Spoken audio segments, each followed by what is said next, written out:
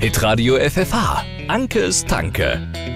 Für mich noch einen Kaffee, Anke. Mmh, Stefan, wusstest du, dass Nuss-Nougat die Lieblingsschokolade in Deutschland ist? Das ist bitter. Nein, Nuss-Nougat. Ich meinte, das ist bitter, weil das auch meine Lieblingsschokolade ist. Wir sind damit Nahrungskonkurrenten. Aua. Finger weg von meiner Schoki, sonst breche ich dir mal die Rippen.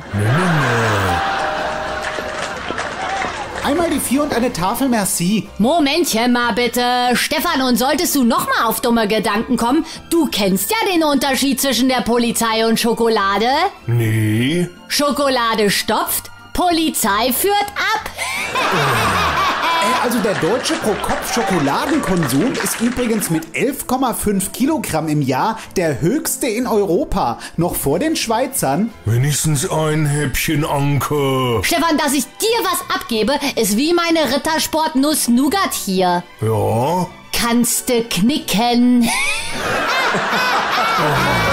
Nach übrigens 103 Euro sammeln Sie Schokettenpunkte, haben Sie eine Jogurette-Card oder sind Sie im lila Kuh-Club? Nein. Dann danke schön. Bitteschön. Ankes Tanke.